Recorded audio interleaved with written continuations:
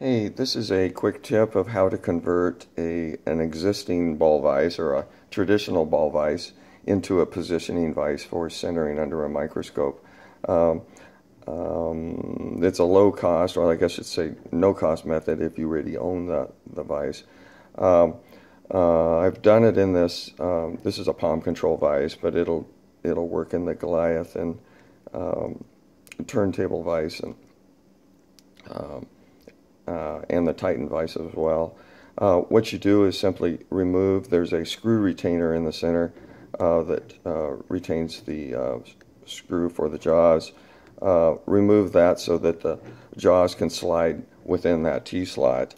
Um, and I'll clamp a practice plate in here and you can see what happens. You simply slide to where you want to go and, and tighten up and uh, so the T slot would be your Y direction, and the X direction is where you where you clamp at um, within the jaws.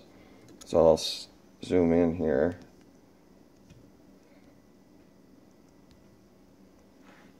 Um, and as you can see, we're we're centered here now,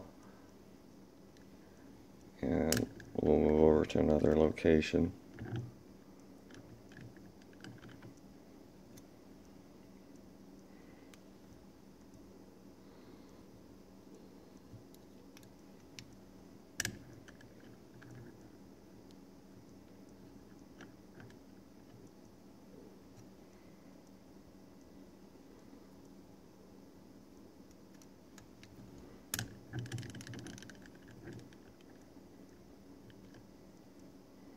Anyway, the jaws will, um, um, when you do tighten them up, um, they're not going to slide within the T-slot at that time. They're locked in.